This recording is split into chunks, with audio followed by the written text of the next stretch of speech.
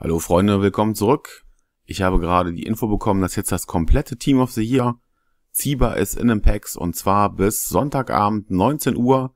Das heißt, wenn ihr jetzt nochmal die Chance haben wollt, die Kollegen aus dem Pack zu ziehen, dann ist jetzt die Gelegenheit.